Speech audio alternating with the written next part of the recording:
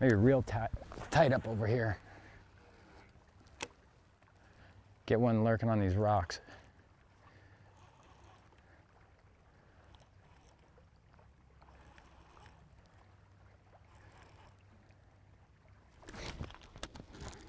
I called it.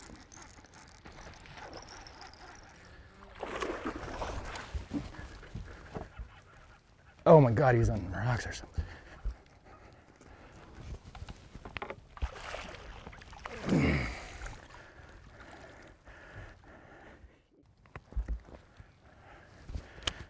Those are marina fish, right? Or close to the marina fish. Call a lot of shots all day long and you never actually catch them. And then when it finally is right, you're like, I totally called it.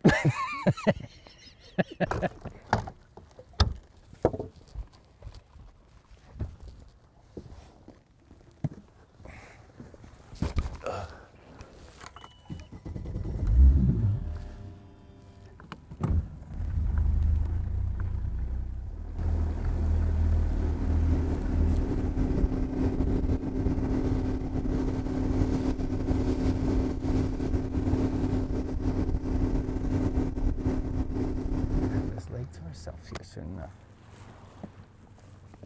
I haven't seen a big fish here with my eyes just in a spot in years. People will always tell me like, oh, there's a big fish there. I, I don't ever see it anymore.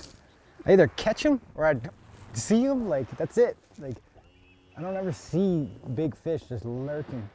They never chase me. It's like they either get them or they're, you're not gonna, I don't see them.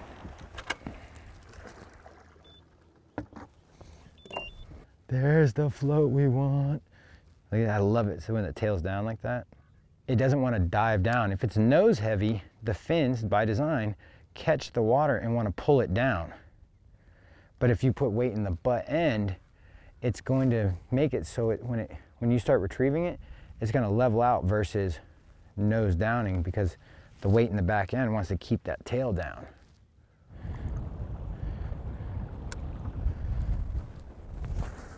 Ugh.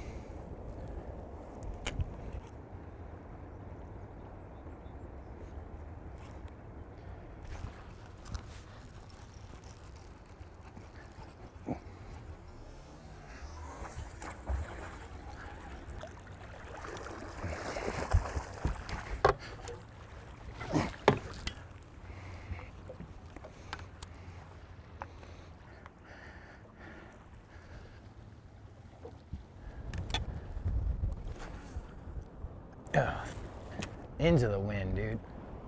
I hate that.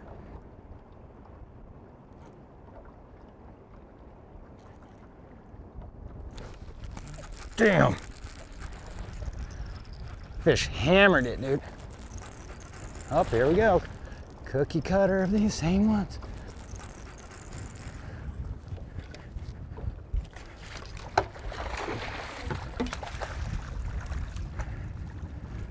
People think that's not enough hook. That little guy ate that thing no problem, right? It's just barely sticking out, but you're just looking to catch him like that. Tink in the corner of the mouth. And the bottom hook hooks him in the corner of the mouth. And I think it helps you get bites. I know it's not everybody's fishing super pressured fish, but I, I always say it, man. If if you're fishing places that aren't pressured, big fish still see things regardless. So just imagine the fish you might be catching if you were being a little bit stealthier. All right, let's move.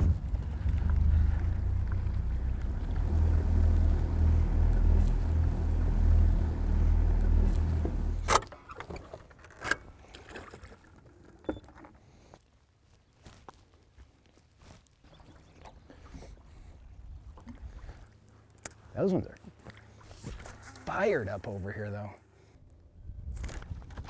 Oh, that's a group. Come on, eat it. God damn you. I think they're all little dudes, but oh no. That was a good one.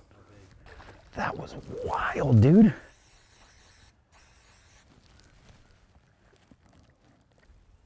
Just a little something, something for them.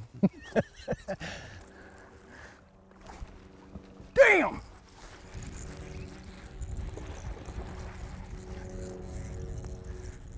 That guy smoked it. Don't pull the...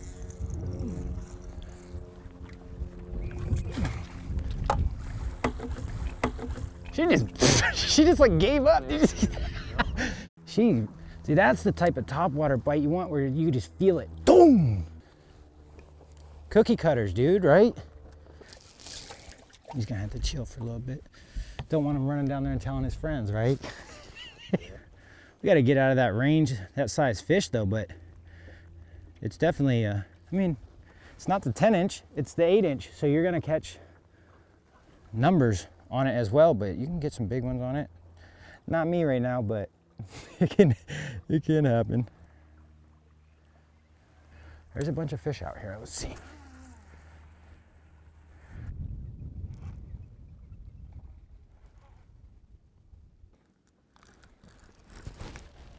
Damn!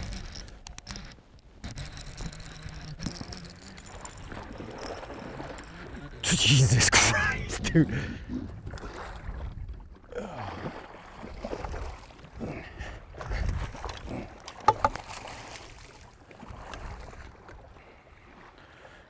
On that beast hook right there. Another little nice chunky one, right? All right. There you go. See you, little girl. There you go. I said, when you set the hook with the beast hook, you have to mean it. And you have to be willing to like swing and miss sometimes. But when you when you connect, you need to make sure you drive that hook home. And means you gotta be quick with it and hit them. And, and this bait just collapses around the 8 so well if it's just boom. See if there's something on this little little stump over here.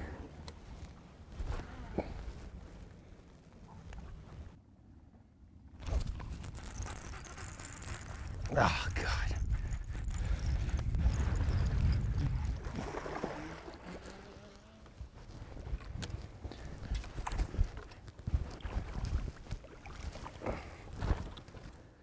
Look at these little guys. Yeah, he's a right in the corner. That's exactly where they need to be.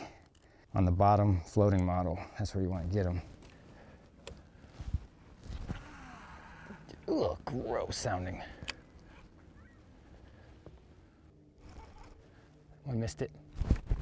You got it that time. Better one.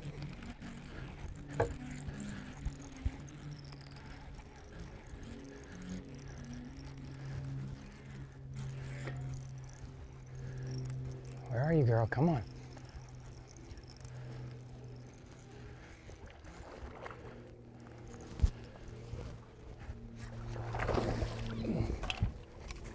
Oh, don't dog me. Come on.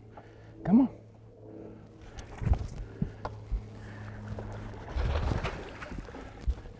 There we go. There's a better one. Oh, there we go. A little bit better. There's a little bit better one. That's what we're looking for right there. Been chasing this fish around. And I think we may have got a good one. Tyrant 8 just creeping on the top. Oh yeah. Dude. No giants, but nice quality ones right here. Real fun to catch. But it's time to get off the water.